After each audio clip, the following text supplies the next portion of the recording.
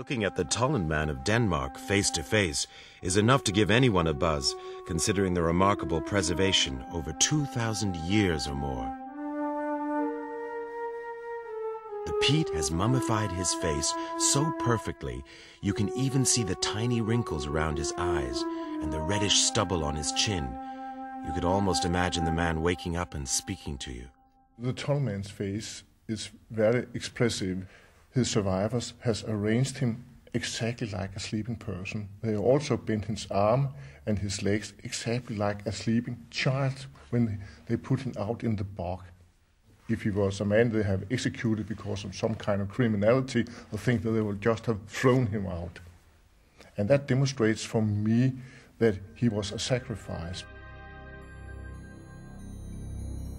In Iron Age times, these strange marshes were chosen as places of sacrifice because of their strange quality, neither solid ground nor water.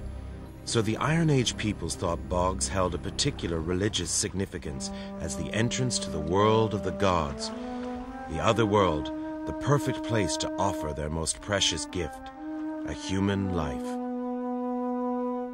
The Tollund man was once such a gift, and is still considered a gift to the Danes. He was found in a bog in Jutland, Denmark's main island. It's a place of wild marshlands, watery fjords and inlets, and well-renowned museums such as the Silkeborg Museum, where the Tollund man now resides.